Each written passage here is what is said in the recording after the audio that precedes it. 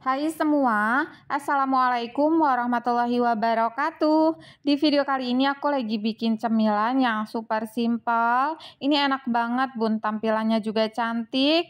Hasilnya banyak, gimana mau tahu cara aku bikinnya yuk? Saksikan ya video ini sampai selesai. Pertama, ini kita siapkan pisang, satu sisir. Aku pakai pisang uli ya bun. Pilih yang tua dan matang. Kemudian ini kita kupas dan dipotong kecil-kecil seperti ini. Nah ini kita lakukan sampai selesai ya bun.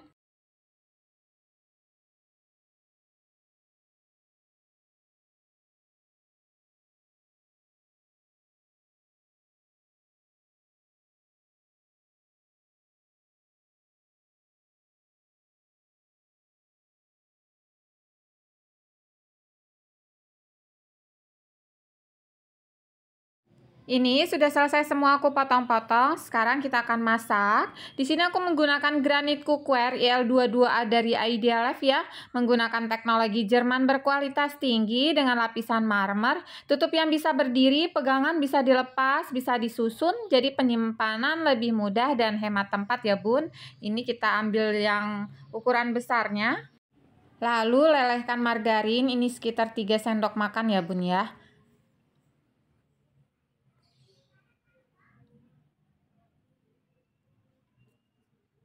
Nah, kalau sudah meleleh seperti ini, masukkan pisang yang tadi sudah kita potong-potong. Kita aduk-aduk, dimasak sampai pisangnya matang.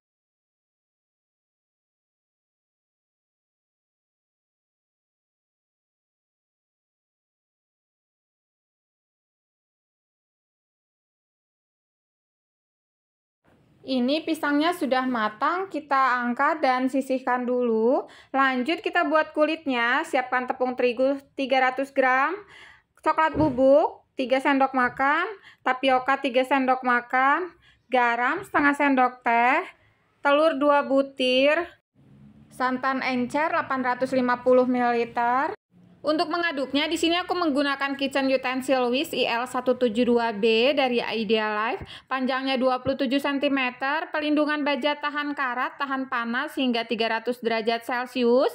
Gagangnya dari kayu, ujungnya terbuat dari silikon berkualitas tinggi. Terdapat dua pilihan warna ya bun, warna pink dan lilac. Nah ini cantik banget, bunda di rumah wajib punya ya. Lalu ini kita aduk-aduk sampai tercampur rata.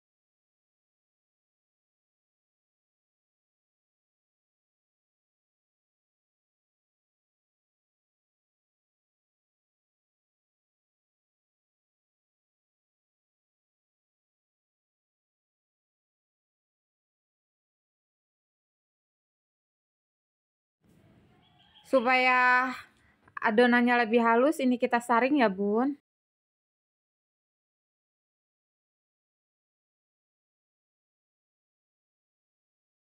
Nah, ini adonannya sudah siap untuk kita masak. Untuk memasaknya, di sini aku masih menggunakan granit cookware IL22A dari Idea Life. Nah, Bunda lihat di sini ya, ini simpel banget bisa disusun seperti ini. Ini diameternya 20 cm. Kemudian olesi minyak tipis-tipis aja pakai tisu, ambil adonan setengah centong sayur. Nah ini dia tipsnya bun, supaya hasil kulitnya berpori, pastikan teflonnya sudah dalam keadaan panas ya saat kita memasukkan adonan. Ini kita biarkan dulu sampai dia lepas sendiri seperti ini ya bun. Bunda lihat ini nggak lengket sama sekali, hasilnya cantik. Lakukan lagi seperti tadi sampai selesai ya bun.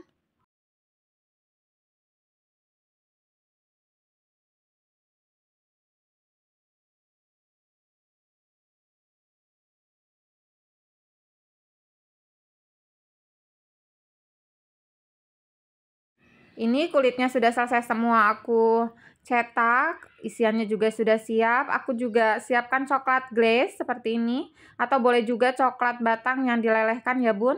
Ambil satu lembar kulit, bunda lihat deh ini. Hasilnya cantik banget, nggak lengket sama sekali. Lalu ini kita beri isian, dikira-kira aja ya bun. Ini aku setengah sendok makan aja atau sesuai selera aja ya bun. Kemudian beri coklat glaze-nya. Nah, ini kita lipat. Cara melipatnya Bunda bisa perhatiin ya. Nanti di rumah bisa dipraktekin. Nah, ini hasilnya. Lakukan lagi sampai selesai ya, Bun.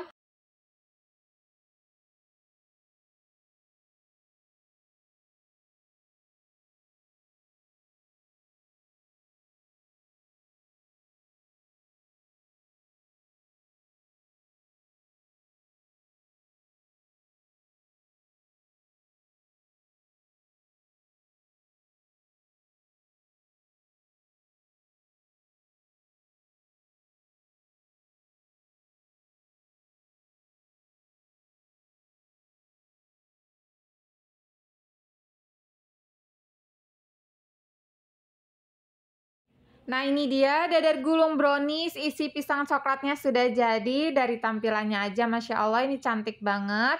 Hasilnya juga banyak rasanya enak bikinnya mudah Gimana bisa ya? Semua peralatan yang aku gunakan dalam pembuatan kue ini semuanya dari Idea Life ya, mulai dari granit cookware, spatula, pisau, semuanya dari Idea Life. Jadi buat teman-teman yang mau samaan, link pembelian dan deskripsi produk sudah aku tulis ya di kolom deskripsi. Silahkan klik aja di bawah judul. Terima kasih sudah menonton video ini sampai selesai. Selamat mencoba, semoga bermanfaat. Wassalamualaikum warahmatullahi wabarakatuh.